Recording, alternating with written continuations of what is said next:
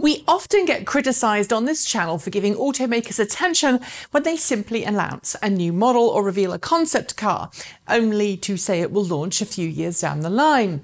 How can you trust these vehicles will come to market? We're asked. Stop giving attention to vaporware. BMW is one company that's regularly accused of not being super serious about plug-in vehicles, primarily because its i3 hasn't sold in massive volumes around the world to date, its i8 is just a halo car, and instead of making BMW electric models part of its mainstream lineup, BMW has relegated them to its i brand instead. And to date, the only plug-in models sold under the mainstream BMW badge were plug-in hybrids with limited all-electric ranges. Over the past few years, BMW has committed to a fully electric future, promising a series of all new electric models under the main BMW badge, as well as plug-in hybrid variants of more of its internal combustion engined cars. As part of this, we've seen a slew of new concept cars unveiled at auto shows, including the BMW Vision Next, BMW Vision iNext, BMW iNext, BMW Vision Dynamics, and others. This has, some might say rightly, caused some electric car fans to question just how seriously BMW is thinking about plug in vehicles. Concept cars never make it to production, they say, and BMW is, like everyone else, dragging its feet. But earlier this week, BMW showcased how serious it is about plug-in cars by showing working prototypes of its BMW iX3, BMW i4, and BMW iNext undergoing winter testing in the Arctic. While BMW hasn't detailed a lot of specifications yet, it does confirm one very important thing. BMW is bringing all three of these vehicles to production soon, and now they're very much more than just a concept car. And that's Good news indeed. Although I should note each car is in a different level of market readiness, uh, but I'll explain.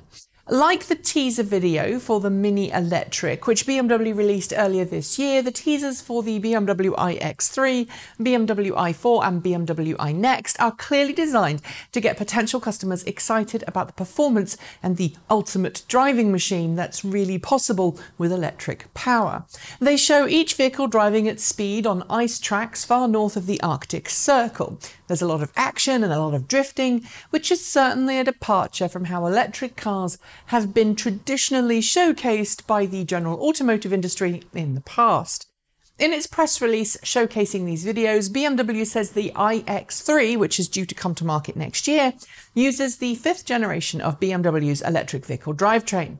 While BMW still hasn't given us an official spec sheet, it does say we can look forward to charging speeds of 150 kilowatts at compatible DC quick charging stations, as well as a range in excess of 400 kilometers per charge, according to the WLTP test cycle.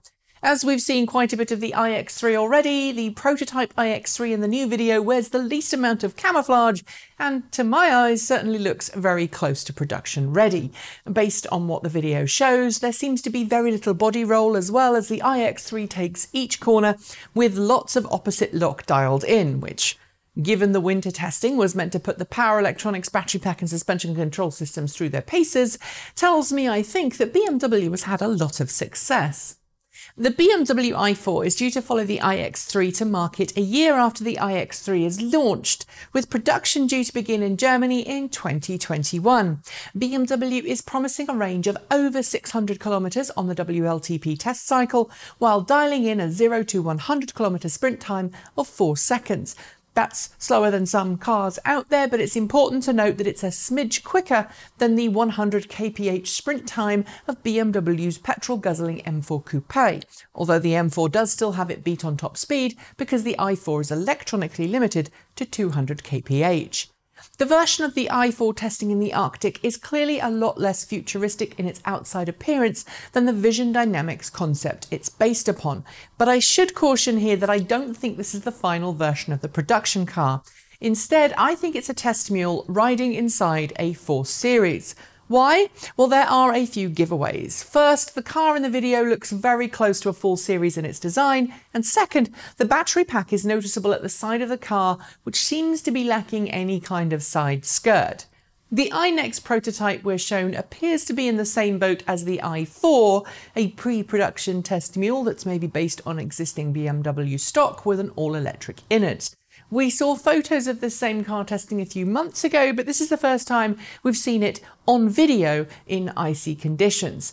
Again, BMW hasn't teased specs, but it's also due to enter production in 2021, sharing the same fifth generation drivetrain as the iX3 and the i4. What we can tell you, however, thankfully, is that it looks a whole lot more conventional than the design of that wacky concept car BMW flew around the world in a cargo plane.